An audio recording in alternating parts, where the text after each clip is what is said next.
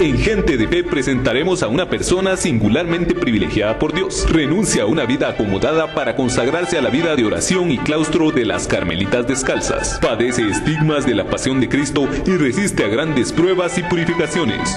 No te pierdas la vida de la Madre María Teresa de la Santísima Trinidad. Este jueves 26 de febrero a las 21 horas, con repetición el domingo 1 de marzo a las 20 horas, solo por este canal.